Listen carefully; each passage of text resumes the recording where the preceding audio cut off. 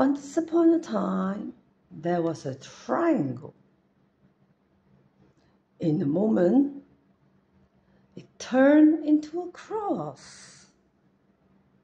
Without thinking, a star was born.